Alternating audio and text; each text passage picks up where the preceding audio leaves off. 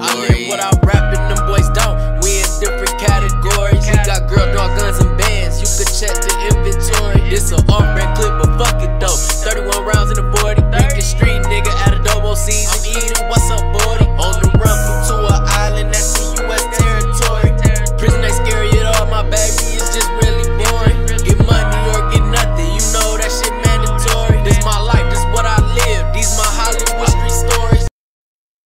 What's up, though, everybody? It's Hollywood Street Savage, aka Mr. Tote the Plastic, and I'm back with episode number two of my Hollywood Street Stories, where I share homegrown stories from my neighborhood in my city, Pontiac, Michigan, with you guys, the viewers. For this video, I'm gonna be speaking on the Pontiac school bus bombings of 1971, where an alleged group of Ku Klux Klan activists blew up 10 school buses in an effort to keep racial segregation in Pontiac schools. On the night of August 30th, 1971, Ku Klux Klan related activists broke into the school district maintenance garage on the intersection of North Saginaw Street and Montcalm in Pontiac, Michigan. They firebombed 10 school buses, making national headlines. The whole summer of 1971 and even earlier, people protested in the field directly in front of the building, as well as the side of the building that Saginaw sits on. The federal court had issued a citywide desegregation plan, busing students back and forth across town from one part of the city to another to integrate the schools, and a lot of people in Pontiac didn't like it. freedom of our country has been destroyed.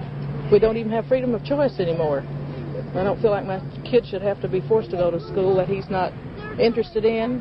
He's leaving a school within three blocks of the home. We just don't believe in it.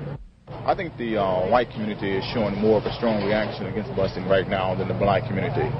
Uh, I don't think the blacks want busing uh, as per se, but I don't think they would show uh, this type of reaction as the white community. Well, I've been very much against busing ever since they first mentioned it, and uh, well, I'm just kind of proud of whoever done this. I hope they don't catch them. I don't believe in violence. Uh, I don't think this is the answer. We, uh, through the uh, Northside Action Group, are trying every legal means to keep our children from being bused.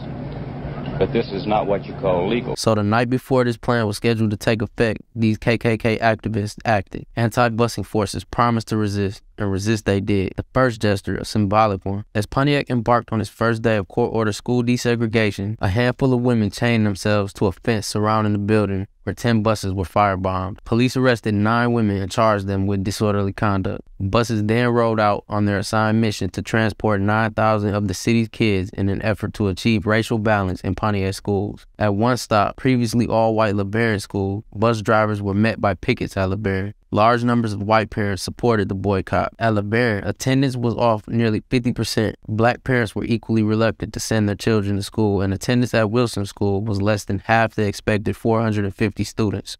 Under court order, all white LeBaron had to send its fifth and sixth graders to all black Wilson School. Wilson School, in turn, had to send its first to fourth grade students to LeBaron. In all, 300 kids were involved. He's going to school, and he's going to behave, and he's going to get along with everybody. He's got to, you've got to learn to get along with everybody. You can't just. He's got to work with all kinds of people. He might as well start right now going to school with all kinds of people. I don't like him having to take a bus. We live right across the street. But he's going to take a bus if that's where he has to go to school. At offices of Board of Education in downtown Pontiac, anti-busing parents sang songs and marched. Leader Irene McCabe delivered a makeshift school bus to Pontiac School Superintendent Dana Whitmer. Later, there were reports of violence at a Pontiac school and a bomb threat forced the evacuation of another.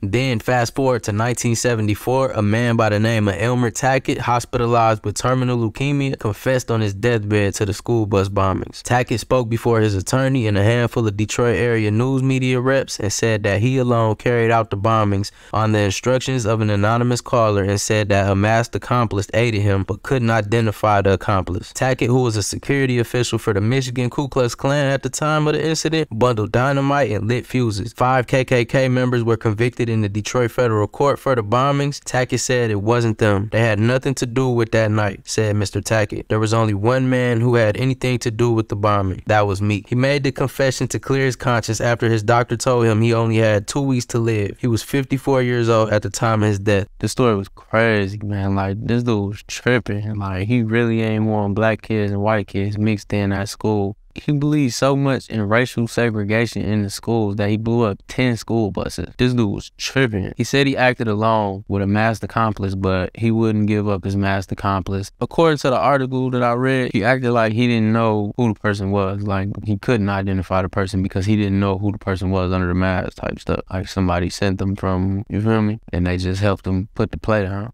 So then, boom, he confesses on his deathbed to the crimes and said that he alone carried out the bombings with that masked accomplice and that the people that they had in federal custody wasn't the ones that did it. But I don't know, you know what I'm saying? Maybe maybe they did do it and cause he was about to die in two weeks, so maybe he was just trying to take the rap for it and try to free them real quick. I don't know. I just I just found this story real interesting though. It was a little piece of Pontiac history. I thought it might be interesting to y'all. So do you think he really acted alone? Or do you think that the five people that they got in federal custody really did it and he was just trying to take take the blame for them. You know what I'm saying? Let me know what y'all think in the comment section below. Like the video if y'all was feeling it. Make sure y'all hit that subscription button. Till next time, I'm out. Hollywood Street. Free at last, free at last. Hit the ground running, not to hurt.